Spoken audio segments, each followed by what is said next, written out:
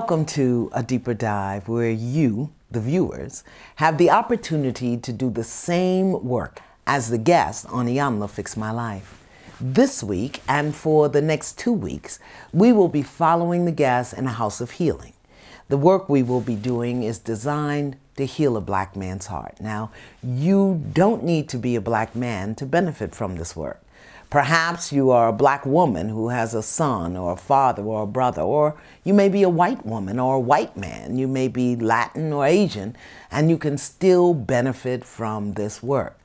You see, the intention of the House of Healing is to give us all a better understanding of the challenges faced by a particular group in our human community.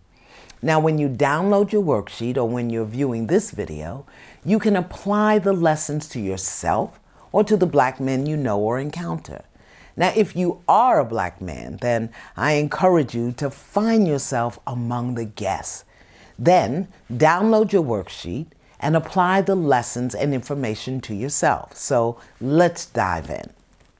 You met the men in the House of Healing, six black men ranging in ages from 28 to 46, who represent some of the common issues faced by many black men today and the labels that are often placed on them. In some cases, these labels accurately describe how the men have shown up in the world. In other cases, they're simply judgments and stereotypes that limit our ability to really know and understand the person behind the label. Of course, over the three House of Healing episodes, I work with the men to examine how they themselves promote the validity of the labels. We look at the feelings they have about being labeled, and more importantly, we work so that they learn to live beyond the labels. As always, there's so much that you don't see because we have 42 minutes an episode. So let me tell you about the process. Each morning, the men had a physical workout. It's so important for men, all men, not just black men, to get their motors running early. You see, men are doers. So it's important for them to get their energy flowing so that they can face whatever they meet in a day. Because when a man has stagnant energy in his body, his mental and emotional energy will also become stagnant. This is when he becomes uncommunicative, unresponsive. Also, each morning the men bless their heads. In this episode, you saw me give the men instructions for just how to do that, and it was an essential part of their day. When a man has a clear and balanced mind, it's less likely that he will act out aggressively, and it's more likely that his thoughts and thinking process will be grounded and focused. The head blessing ceremony is an ancient and sacred ritual that epitomizes and supports the power of the mind to create and direct life experiences. Now I'll tell you how you can get your own head blessing kit later on in the video, maybe for you or the men in your life. Also, the men and I began each day with what we called a village meeting. This is where we all came together to discuss their thoughts and feelings about their labels, about the issues they face, and how difficulty manifested in each of their lives when they didn't have control of themselves or their minds. Some of this you will see, much of it you won't. This is where most of our work got done in those village meetings. The men learned how they lived down to the labels and what was required of them individually to live beyond them. Now, I was both shocked and honored at how open and honest, accessible, and vulnerable the men were in these sessions. We did some really, really good work. And by the end, you will see and feel the results. The other thing is that each day the men left the House of Healing to go out and perform community service. Why? Because, as I said, men are doers. They must have a feeling of accomplishment. When a man doesn't feel that he's accomplishing something of value, he may develop feelings of insecurity, inadequacy, or failure. The problem is that most men have not been taught how to express or neutralize those toxic feelings when they come up. And as a result, they may act out in self destructive ways. Finally, each day, the men had a session with a male mentor. As a woman, there are just certain places I should not and cannot go with a man. It's what my grandmother used to call menfolk business. And because I knew about that and I respected it, I brought in men who could talk to the men and take them into places in their experiences that I know nothing about. As you saw tonight, DeVon Franklin was the first mentor. And since I wasn't present in the room, I have no clue what they talked about. But I can tell you it had a powerful impact on all of the men. Now, let's talk about CIA because this was the premise of the work I did with the men. CIA represents character, integrity, and accountability. These three powerful principles and tools have been overlooked and underestimated by many black men. In this first episode, we dealt specifically with character, your way of being based on your personal values and morals that determine and define your sense of worth and esteem. Character it determines how you hold yourself within yourself and how you see yourself in relationship to others.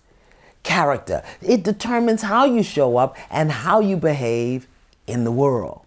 Now, what we discovered is that for a variety of reasons, the men had lost touch with their own values and character.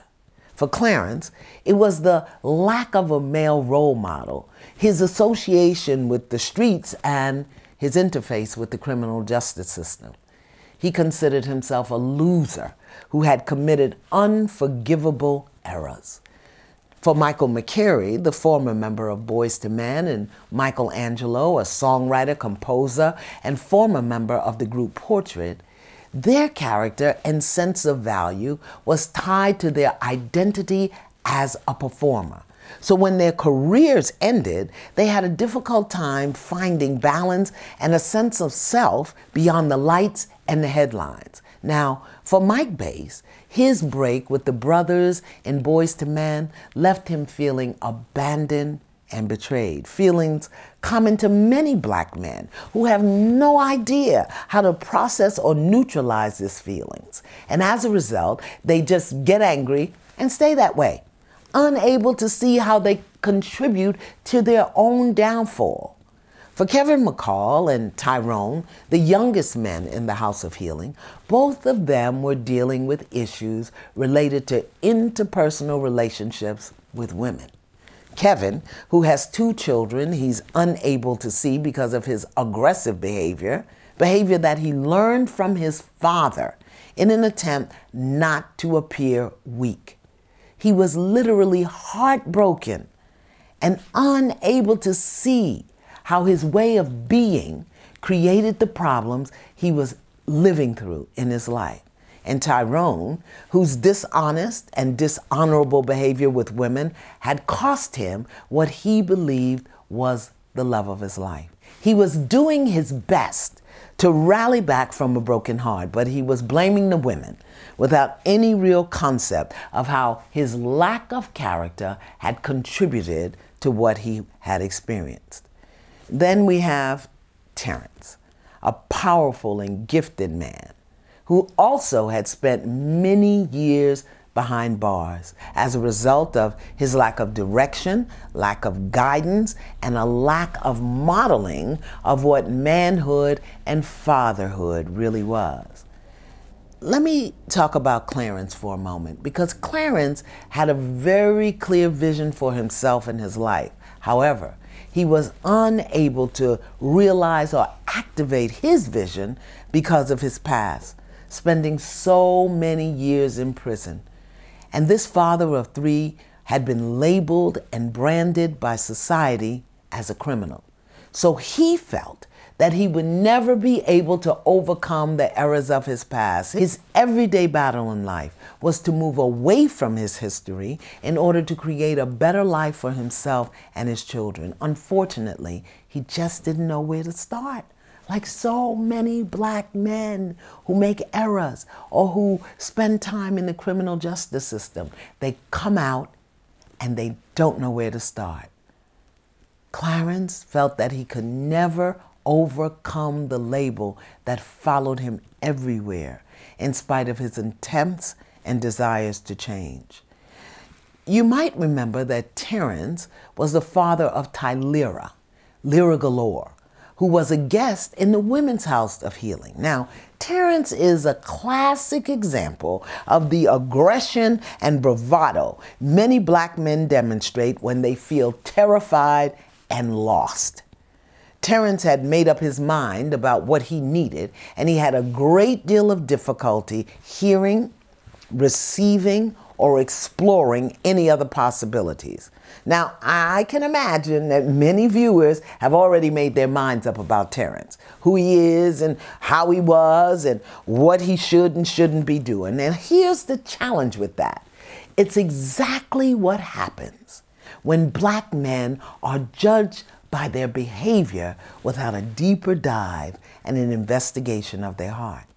For Terrence, beyond that hard, cold exterior, there was a frightened, broken little boy who was being enabled by a woman to stay exactly where he was because it served her needs. You'll see more about that in upcoming episodes. So, our first episode was just about getting to know the men and learning about their issues. And you'll see how each man becomes able to apply what he's learning to his own life taking the skills and the tools that I and the mentors share with them and applying them to their real life experiences. So, what's your work this week? Okay? Your work is to identify and get clear about the labels you've placed on black men. Watching the show and hearing the guests, it's probable that you will see someone who reminds you of someone you know.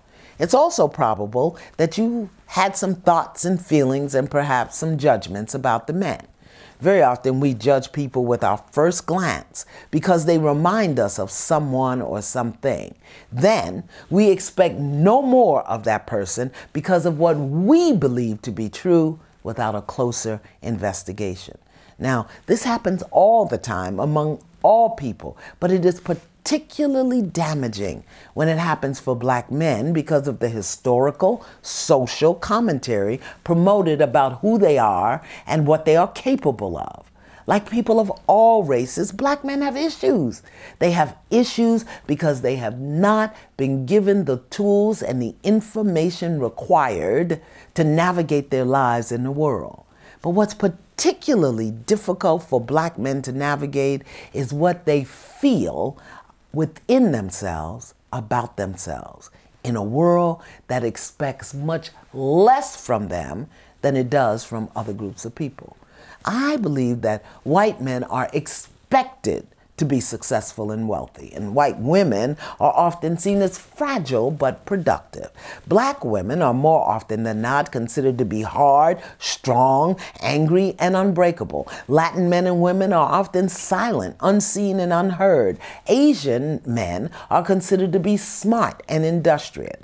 But black men are all too often seen as dark, dangerous, and dispensable. Of course, this isn't true about how all people think and feel about black men, but at the same time, it does exist. So, based on what you've seen in this week's episode, I invite you to get clear about your own thoughts, feelings, and expectations as it relates to black men. Now, for the black men out there who are watching this, and for those who know and love black men, I have a little exercise for you. It's the same exercise that I did with the men in the House of Healing. So I need you to get a pen and a piece of paper. Once you have it, pick a number from 1 to 8 and write it down. Okay, now here's a label for you. If you pick number 1, your label is lost. Number 2, the label is dangerous. Number 3, thug. Number 4, stud. Number 5, nice guy. Number 6, player. Number 7, useless. And number eight, absent. Okay, got it? Good. Now, just reflect on the label you have chosen and how it has, if it has, shown up in your life in the body of a black man. As a black man, how have you lived down to this label? Or how do you respond when this label is placed upon you or associated with you? How does this label impact your relationships with women, with other black men, and with people in general? More important, in response to the label you have chosen, or any of these labels, ask yourself, how does it impact what you expect from and for black men? You see, in life, we don't get what we ask for, we get what we expect.